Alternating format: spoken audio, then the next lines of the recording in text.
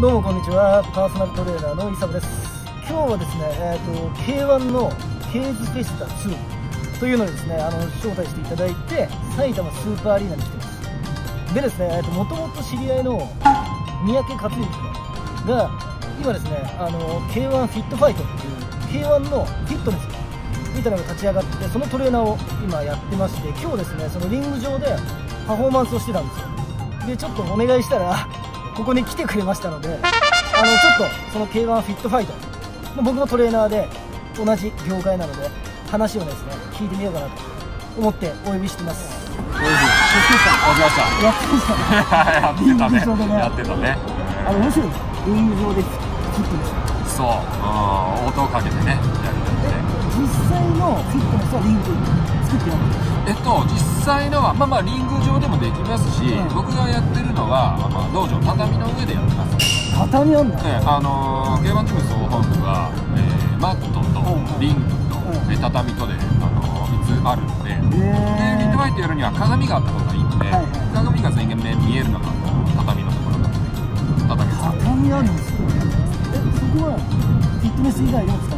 そうですねあの K1 ジム総本部なので K1 の試合に出たりするあのトレーニングするためにあのガチガチでやる人もいますしであの K1 フィットファイトはそもそも今年の2019年の1月から僕はあのクラスをやり始めたので、うんうん、まだ日は浅いですけどね、うんうん、いやでもだって立ち上がってからも結構浅いですね。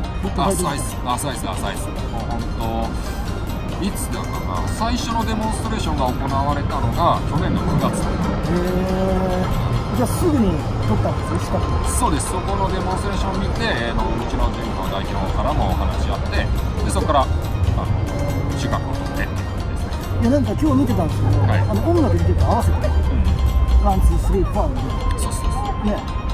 どういうあれなんですか？基本あの K1 の動の動きを使って腕伸ばしたらあの二の腕引き締まったりとか、うん、足上げたらお尻が引き締まったりするので、うん、その動きあの音楽に乗せてやれば楽しくあの、ね、まあ、ちょっと笑顔でねやりながら、はい、気持ち朗らかにしながら。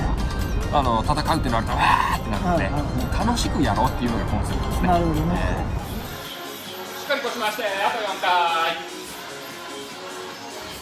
あと2回。なんかのアクションって、はい、結構共通するんです。よここパンチでくびれとか、はいはい、そういうのを狙ってるあそうっすあのー、見ましたよ動画。ああいうそうそうそう。そうそうそうそう。あれパンチね。そうそう蹴り魔の腰くびれでできるんで。そう。でやっぱりね見てて格闘技とアクション全然同じようで違う、うんうん、だからねすごい面白いな。なんか K1 と一緒にですね。K1 のフィットファイトトレーナーアクションするのな。んかやりたいな。あいいですね。じゃあ面白いなフィットファイトアクションスタイルコラボレーションみたいな、はい、いいですね。やりましょうやりましょう、なんかリングの上に刀とか。いやそれ反則なんで。リングの上で刀はダメなんで。ダメなんで。なんかねだから僕が K1 を教えてもらったりとか、えー、僕がアクションを教えてもらったり、えー、俳優もやられてるんで。俳優が先です。そう。俳優が先ですよ知り合った時が僕まだアクションプレイヤーやっててその時に知り合ってね今度舞台そうですそうです。